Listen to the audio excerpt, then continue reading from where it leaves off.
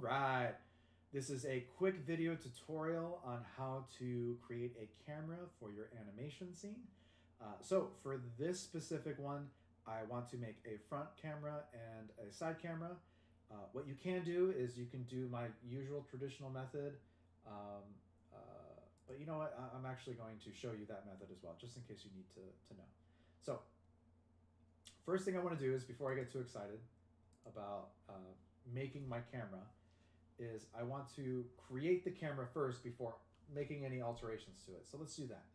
Let's go ahead and click on create, cameras, click on camera. As you can see, our camera is facing towards the front view.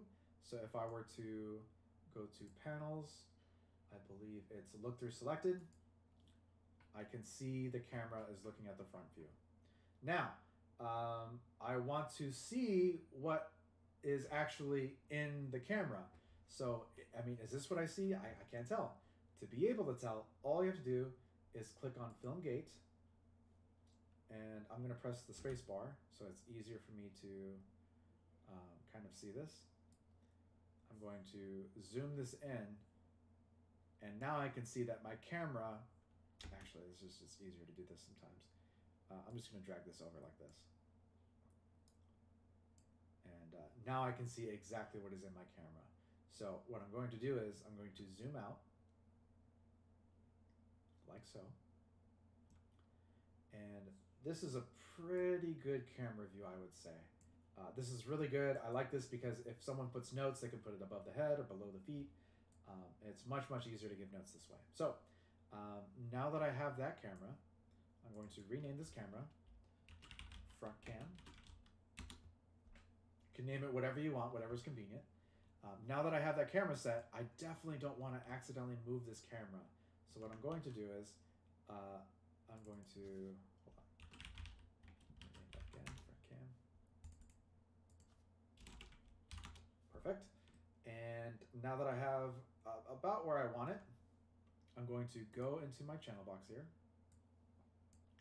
and I'm going to freeze all of this.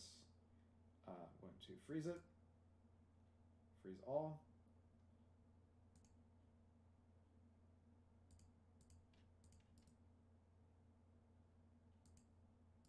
Uh, then what I'm going to do is I'm going to lock selected. So no matter what, I cannot move this camera. I cannot move it. If I do, for whatever reason, want to move it, all I have to do is click in the outliner, find my front camera, click on it, go to the channel box, and all I have to do is select and unlock. And then you can move it if you want. Okay? So now that that's done, let me go ahead and uh, lock that again really quick. I have this one set.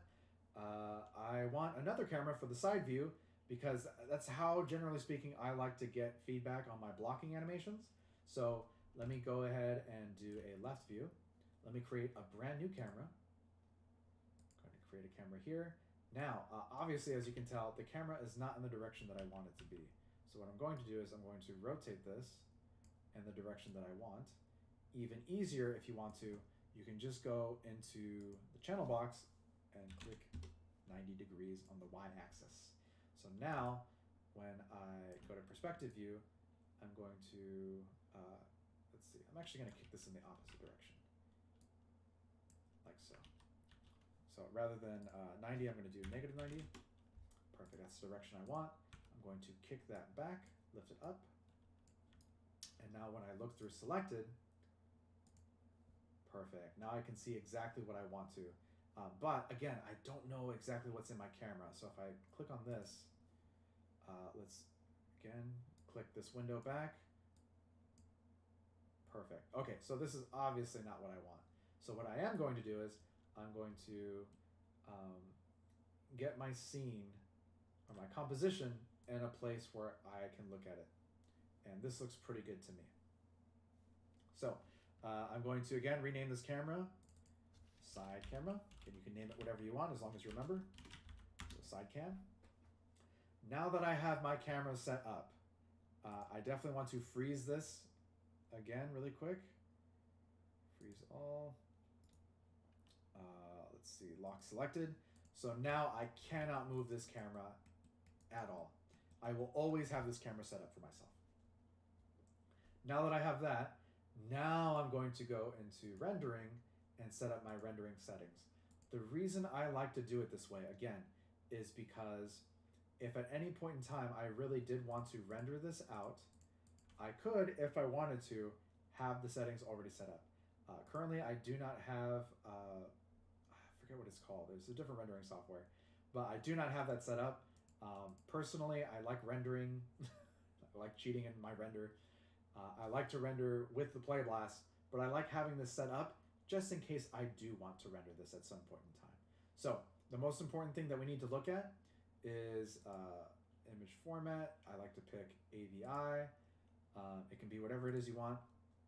Start frame is frame one. End frame, even though this is a cycle set at 25 frames, I only want to render the frames that will not be duplicated. And that is 1 through 24.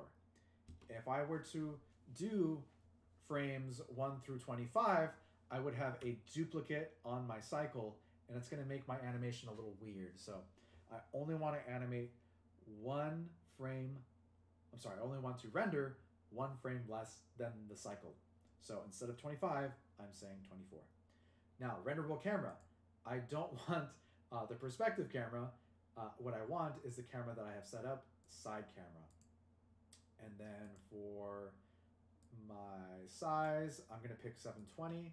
Um, I highly recommend 720 if you want to keep your file sizes small. If you want to get um, maybe some more professional feedback, maybe 1080 would be a better choice. Okay, so now that I have that set, I'm going to go to my animation tab. Uh, I'm going to click Playblast. You can also right click in the timeline and click on Playblast. The box is what you want to select. Uh, again, I'm just used to this way, so I'm just going to select the box here. Uh, perfect. So now that I'm here, I want to select start to end. I'm going to click on 24 frames, just like I mentioned earlier. My file format for me is going to be AVI. Encoding, uh, don't have to worry about that. Quality, I'm going to set it to 100. If your file size is too big, I recommend no less than 60, and that'll keep your file size down. Uh, if your file size is still too big as an AVI format, please, please, please put that AVI format into a MP4 converter and it'll make your file size even smaller. Size should always be one. Uh, if it's anything other than one, please, please, please make sure it is one. Frame padding uh, hasn't really made any significant differences for me. Also, you want to remove temporary files and save to file. You want to make sure that you put your file in the exact place you want. So let me find where I want to put it. Um, let's go to my files, spring 2022. Uh, I'm going to click on walk cycle and I'm going to create a brand new folder for my playblast. So I'm just going to call this playblast. Double click on that. Remember our naming conventions first and last name, name of the assignment, walk cycle, and then last but not least, the iteration, which is 001. Okay, save that, and all you have to do is playblast. And an automatic video should come up, and there, that is my animation. Super, super simple and uh, easy to do. Uh, obviously, I would do this with the front camera, but I feel like you have the gist of it. And this is a quick tutorial on how to make a camera for your Playblast animation. That's it.